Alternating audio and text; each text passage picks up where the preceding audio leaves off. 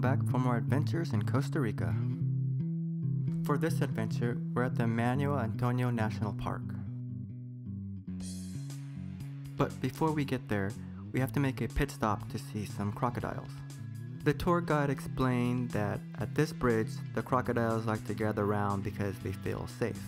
And he says there's usually six to eight. Well, not this time. We got one lonely crocodile this time. The tour guide said that the water level wasn't optimal, so they might have gone to a different location. But the park itself offered better opportunity to see wildlife, like this deer. The wildlife in the park must be very used to human activity because they never seem to run away or get scared. It was a little surprising to see these crabs because we're a fair distance away from the beach, so these ones live a little bit more upland. Every time I go to Costa Rica, I always want to film and see a sloth, and every time I can never get a clear visual. Here the tour guide explained that if you see a leaf bent over like that, that's because the bats bent it over so they could roost underneath. And here we have Central America's version of a raccoon.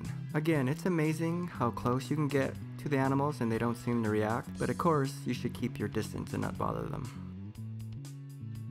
And here's a good sized lizard. Looks like a little dinosaur. But as far as wildlife goes, the monkeys were the main attraction. And they wouldn't just come close to people, you had to be careful that they wouldn't steal your things when you weren't looking. But besides the animal life and the beautiful hike, the main attraction at this park is the beach.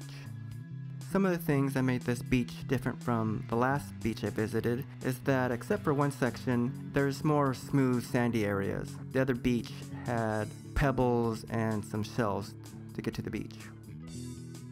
Another difference is that because of the geography of this beach, the swells were far more powerful and higher. And there's a nearby area that is known to be a surfing hotspot because of this. And as I explore the other side of the beach with the more rocky terrain, those stronger swells are going to become a factor. And it's here about where this rock outcrop is that the beach begins to change from smooth, soft sand to more of that shell and pebbles on the beach.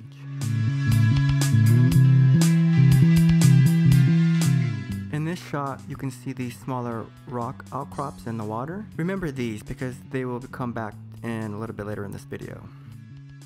Crossing from this side of the beach to this smaller section was rather treacherous, especially barefooted.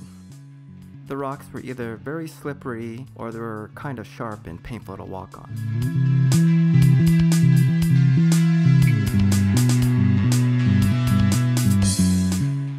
Worth it because this smaller part of the beach is very interesting. Like this shot of this tree that's barely hanging on the cliff. I'd imagine at some point it's going to fall off onto the beach and get swept out into the ocean.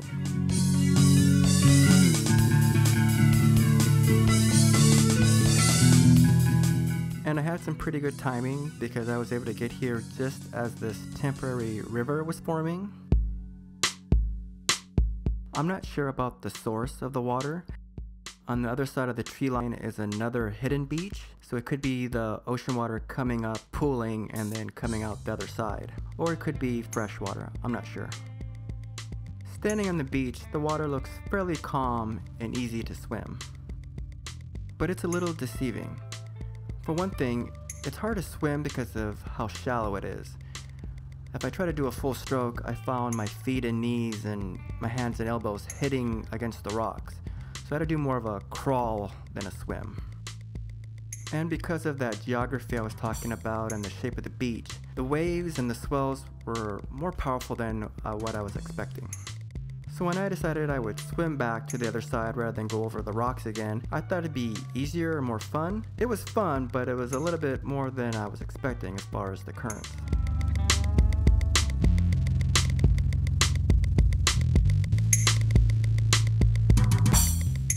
So the reason why I pointed out those rock outcrops from earlier is that because I basically had to swim to them and take a break on them before I could continue on. I wouldn't say they were lifesavers because my life was never really in danger, but they were greatly appreciated.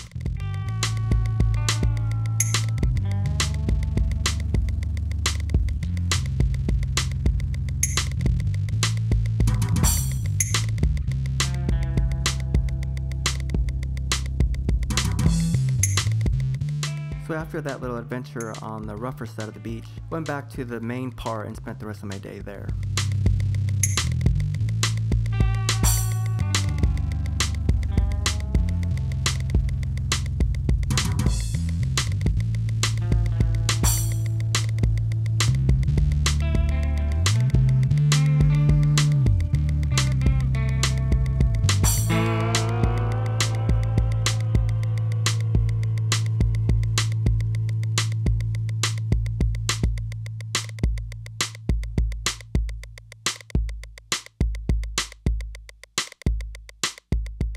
So I hope you enjoy that little adventure with me at Manuel Park, and I'll see you next time. Until then, take care.